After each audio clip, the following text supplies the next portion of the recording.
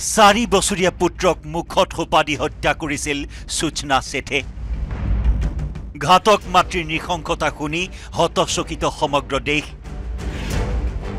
ছয়ৰ পৰা আঠ জানুৱাৰীৰ ভিতৰত উত্তৰ গোৱাৰ কেন্দ্ৰলিমৰ হোটেলত চাৰি বছৰীয়া পুত্ৰক হত্যা কৰি আত্মহত্যাৰ চেষ্টা কৰিছিল বাংগালুৰুৰ দ্য মাইণ্ডফুল এ আই লেবৰ চি ই অ' সূচনা শেঠে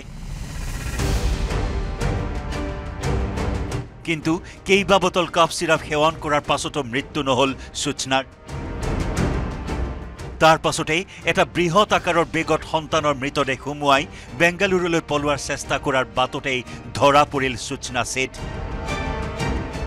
সূচনাই এৰি যোৱা হোটেলৰ কোঠা পৰিষ্কাৰ কৰিবলৈ সোমোৱা হাউচকিপিঙৰ কৰ্মচাৰীয়ে তেজৰ চেকুনা দেখাৰ পাছতেই পোহৰলৈ আহিল নিজ হাতে চাৰি বছৰীয়া সন্তানক হত্যা কৰা মাতৃৰ জঘন্য কাহিনী। গোৱাৰ পৰা এখন কেবেৰে বেংগালুৰুলৈ যোৱাৰ বাটত কৰ্ণাটকৰ চিত্ৰদুৰ্গাত আৰক্ষীৰ জালত পৰিছিল আকৰ্ষণীয় কেৰিয়াৰৰ গৰাকী সূচনা শেঠ হোটেলৰ হাউচকিপিং কৰ্মচাৰীৰ পৰা খবৰ পোৱাৰ পাছত কেব ড্ৰাইভাৰৰ সৈতে গোৱা পুলিচে যোগাযোগ কৰোঁতেই কৰ্ণাটক আৰক্ষীৰ বেহুত সোমাল পুত্ৰ হত্যাকাৰী সূচনা। ধৰা পৰাৰ পাছতেই চাৰি বছৰীয়া সন্তানক হত্যা কৰাৰ কথা স্বীকাৰ কৰিলে সূচনাই।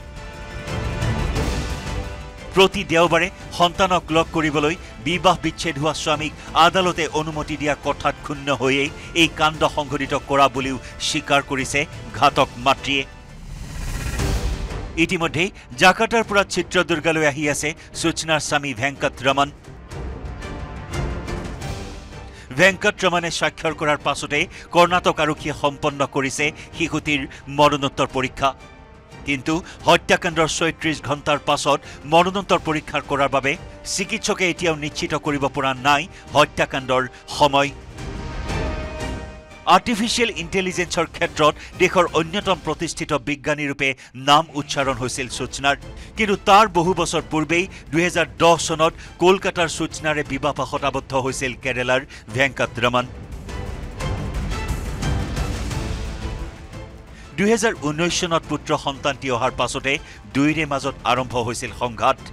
দুহেজাৰ বাইছ চনৰ পৰা বিবাহ বিচ্ছেদৰ আইনী প্ৰক্ৰিয়া চলি থকাৰ মাজতে চাৰি বছৰীয়া পুত্ৰক সূচনা শেঠে হত্যা কৰা ঘটনাই আলোড়ন সৃষ্টি কৰিছে সমগ্ৰ দেশত। News desk report news eighteen Assam north east.